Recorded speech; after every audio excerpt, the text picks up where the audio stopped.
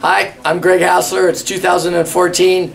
This is me at opening day at the Farmers Fair in 1970. This was a Clown for a Day contest. I won first place. I was in the clown contest and the 4-H uh, with my uh, pigs, Laverne and Shirley. Thanks a lot.